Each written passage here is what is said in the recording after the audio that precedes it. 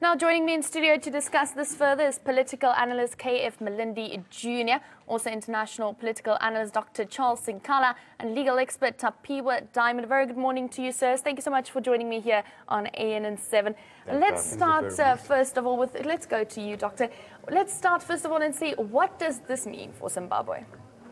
Um, it means a lot to Zimbabwe, um, largely, and uh, we can witness that uh, how the happiness of uh, all the Zimbabweans and including the international community are happy for the uh, regime change and the transformation.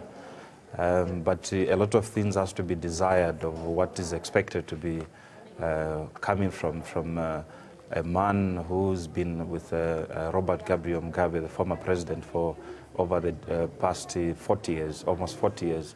Actually, they were together for over 50 years because they were together in prison, and that's how they started working together and uh, they were, um, um, uh, uh, Mr. Emmerson uh, uh, was the vice president and he held a lot of positions into Mugabe's regime.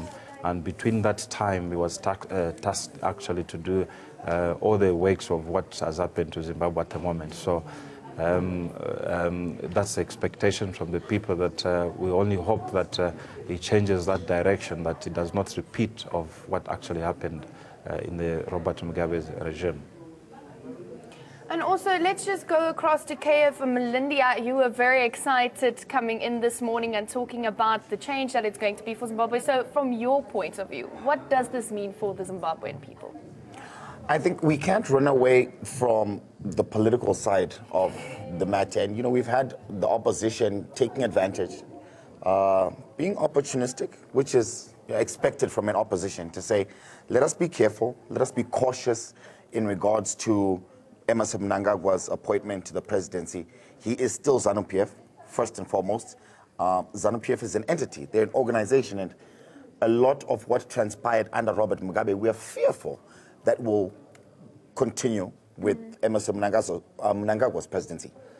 However, I want to believe that first and foremost, this has been a changing, a critical point in, in Zimbabwe's history, where we have changed the dynamics of ZANU-PF because as opposed to the opposition um, removing Robert Mugabe from power, ZANU-PF itself has removed him from power.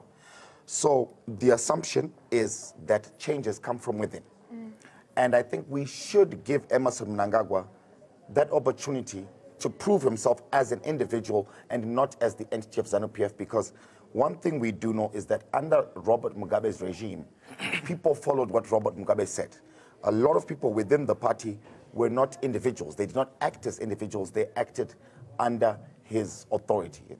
It, it, has been very difficult for anyone to assert themselves or assert their own opinions as individuals.